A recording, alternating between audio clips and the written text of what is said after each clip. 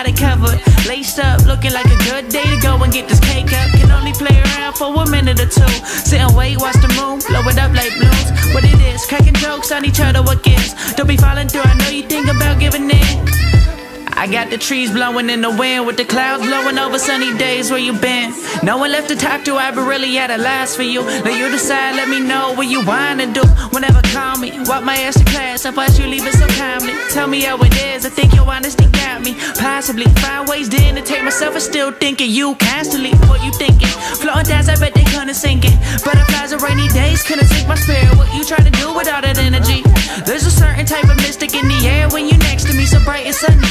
Early mornings, just my tea and honey. Can call you up, but it won't make you love me. I'm floating, but to the side, I got it duly noted. And I can really focus. I hope you really notice. See, if I hold it back, I'll end up exploding. You don't wanna see that. I see your life is golden. See, is here to go? I know you really like my CD. over by the Yorktown area, having some fun.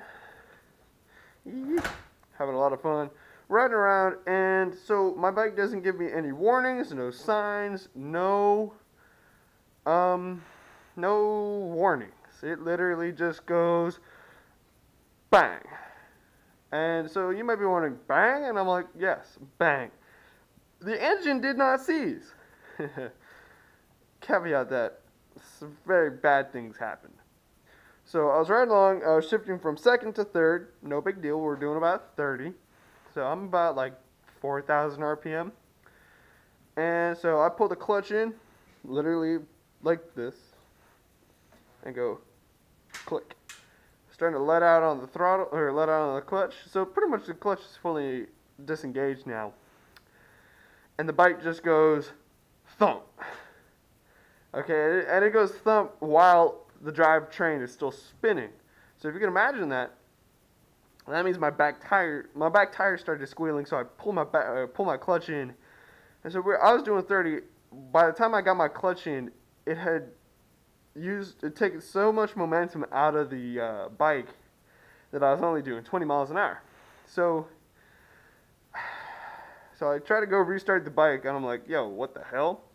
You ain't supposed to do that." So, I'm a little curious to find out why. So, I I had actually get picked up last night after it broke. So this is my timing chain. This is known as the vroom chain. Without that really important chain there, my bike doesn't go, well, vroom.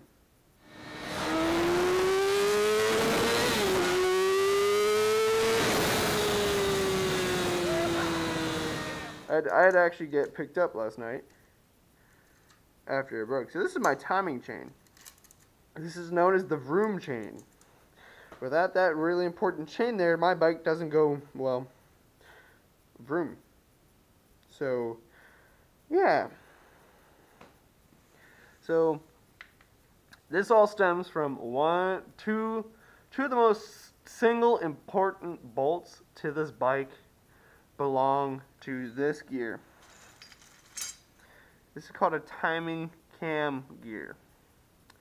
The cam fits right in the middle of here, and it spins it. And it spins the cam so the valve's open. Well, when I took the valve covers off yesterday, this was literally dangling on the side of the cam. You know, disengaged. No big deal. Big deal, actually. So, I, uh, I looked around, saw the timing chain was still on the back, but had slipped off the front, right up there, if you can see.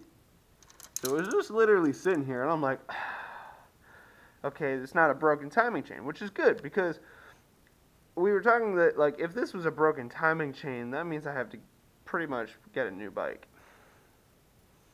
And that was one of the things I was not happy to hear, because, like, this is my baby. Honda, this Honda has been with me, okay, only for a year, but it's been on this planet for 35 years. Like, it's been beaten beaten and abused, left for dead, sab- sabotaged and left for dead.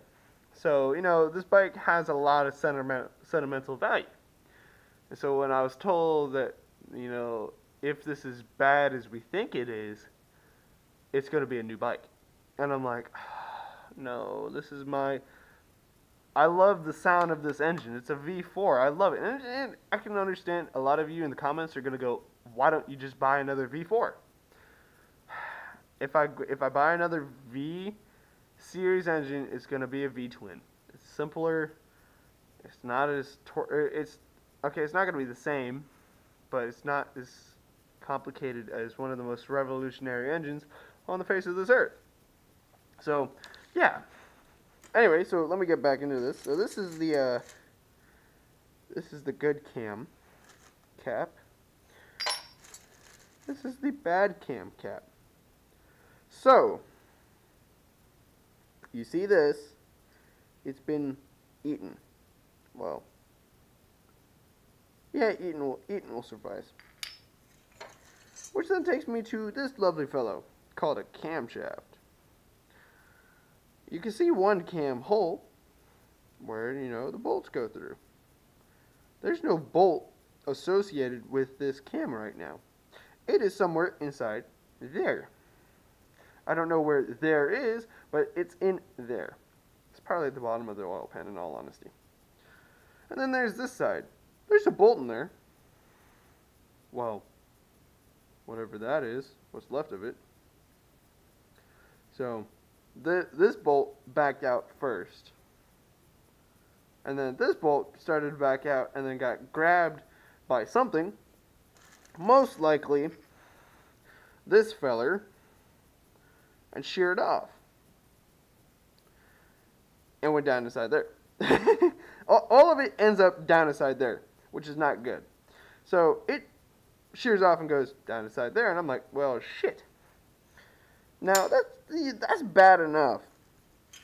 But then realizing that when it came loose, it slapped. Chain slap is one of the most worst things ever because chain slaps chain slap slaps everything in that it comes into contact with, which in this case was the oil pipe spraying oil to my cam lobes and everything like that. So that's fucked. Then my chain guard, which actually doesn't actually need to be replaced. But this is where it, it tried to it tried to get free. It tried to walk out of there. But luckily enough, the kid, oh my god, that actually took almost all of that out. That's a good, good chain guard. So what does this mean for the bike? Well, let me give you a little backstory of why this happened. It belongs to the dude. The problem occurred because the dude inside this helmet talking to you didn't put Loctite on those bolts. Let me explain why. So, when my when my head gaskets blew, I did the rear head at school in my in my auto tech class. Not a bad thing to do. One problem. Don't distract the person who's doing very delicate engine work. You might be wondering, distract? Yeah, I mean, don't yell Kyle and call my name out while I'm in the middle of doing this. Because this is because there was no Loctite on those bolts. Because there's no Loctite on those bolts, there was nothing stopping it from coming out besides just torque and tightness. Well, torque and tightness doesn't cut it nowadays. It needs Loctite. These two are these two bolts were the most single important things to this bike. It does not matter if you have it all together. If those bolts are not where they're supposed to be, there, there's nothing, you don't have anything. You don't have a bike, you don't have anything. You just have a piece of shit. If that makes sense. So, yeah. So let me let me go up to the front head. The front head here, as I'm, oh, you know, I'm gonna just lie on the ground. It's actually fine, but we're still gonna take that precaution. We're gonna take that bolt out that is upset there. You won't see it but there's another uh, gap, not gap. What's it called? Bolt that will protect that. So that's going to come out. We're going to relock tight those. And we're going to make sure that that all is good. Now, you might be wondering, how are we going to get the bolts out from the... Damn it. From the bottom of the engine. Well, thank God. Sorry. All bikes have oil pans. This actually might be too close for you guys. I'm going to take out the oil pan right up here. Which means I got to drain all the oil. God damn it. Uh, it looks to be a rubber seal. I think that's a rubber gasket. That's awesome. Hopefully that rubber gasket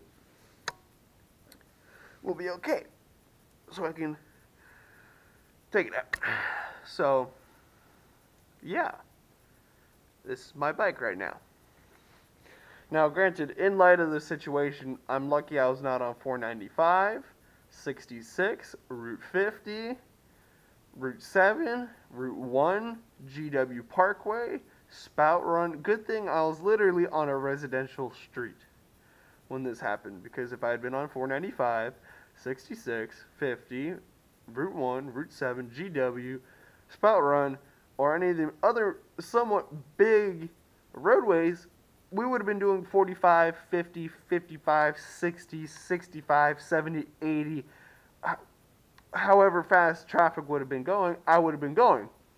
And so, not to make light of this, because I made light of it to my dad. He was just like, "Oh yeah," it's just. I was just like, "Yeah, I mean, you're fucked anyway if it locks up on you." And he was just like, "Oh yeah," making uh, making fun of a dead guy, and I'm like, eh, "That dead guy would have been me technically," which he has all of the right points. Is because he he is right my dad is completely right. If this had locked up to me on on the highway, I would be dead right now. There would be no video. There would be just dead silence. So, you know, stuff like that. But here's the good part of that night. I went out on a date. Yes, the person making this video apparently has a social life, which is weird because I don't go out very much at all. So, here's what's going on right now with our plan to fix this. So I'm not going to get a new bike. That's just basic basic right now because I can fix this. We ordered a new one of these. They come in a set of two, so we're going to have an extra one. These don't really wear out. They can get clogged and dirty, but they don't really wear out. Cams, um, there's no harm to these camshafts, cam lobes, or anything like that. So this cam is going to stay with us. Now we're going to get that bolt out, hopefully. And then comes our cam caps. This is technically still serviceable, but it's just really fugly. And we don't want fugly. So we're going to keep this one as a spare just in case something like this ever happens.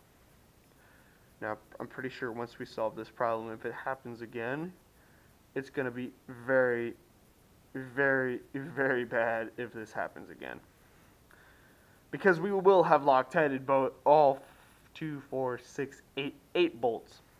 So yeah, if this breaks again, we're pretty much, I'm pretty much dead. It does not matter.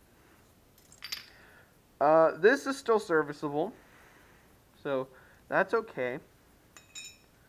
Uh, thank God for chain guards.